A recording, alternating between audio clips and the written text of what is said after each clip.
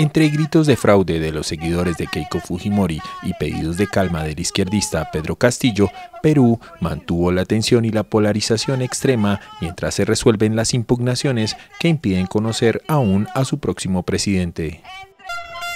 Fujimori fue la primera en reiterar la denuncia de un fraude en mesa y dijo que la izquierda internacional está detrás del resultado de las elecciones del pasado domingo, que tienen a Castillo como virtual ganador, a falta de una proclamación oficial por parte del Jurado Nacional Electoral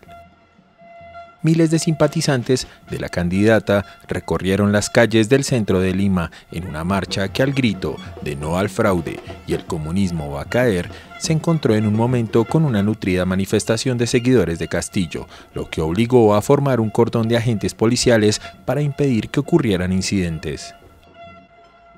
Mientras se desarrollaban esas movilizaciones, Castillo pidió a sus compatriotas que mantuvieran la tranquilidad y a sus seguidores no caer en la provocación que eventualmente pudieran lanzar sus opositores. Cuando Fujimori se dirigía a sus simpatizantes, la Oficina Nacional de Elecciones actualizó las cifras de las actas contabilizadas de los comicios del domingo, que al 99,925% otorgan una ventaja de 49.710 votos a Castillo sobre Fujimori.